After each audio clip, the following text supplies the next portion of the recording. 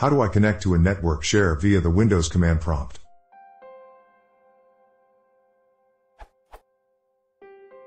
Is there any way to connect to a network share via cmd.exe?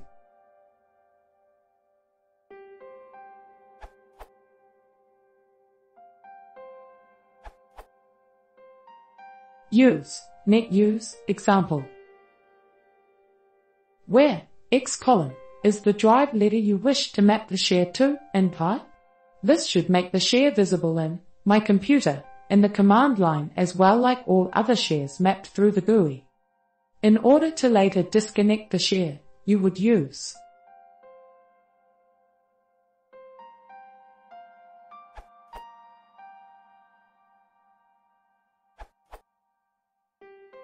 If you don't map a network drive with netuse, you can access ARN path directly from the command prompt using pushd. For example, this will create a temporary map drive automatically for you and make it your current working directory. When you're finished on the network share enter the popd command. This will return you to the directory you were in before and delete the temporary network drive.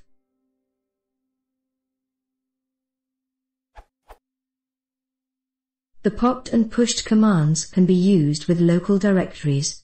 They build up a stack of visited directories which can be handy if you work on the command line a lot.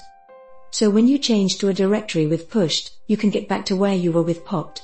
A stack of directories is built up with each pushd, and you go one directory back up the stack with popd.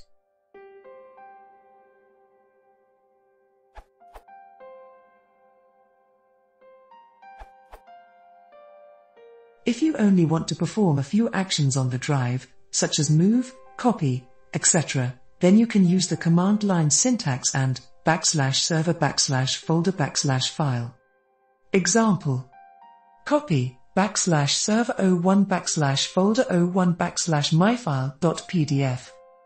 That command will copy whatever file you specify into the CWD current working directory. Likewise,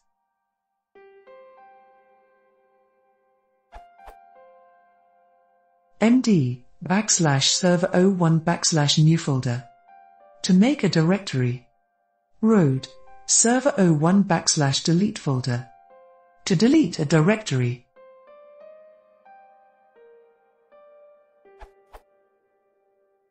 This method is really only useful if you want to perform one or two operations across the network and can't be bothered mapping the network drive.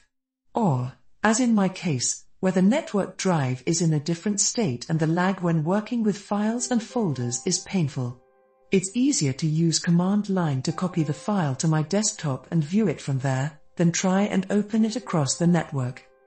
Otherwise, I'd use pushd and popd as suggested by Dave Webb.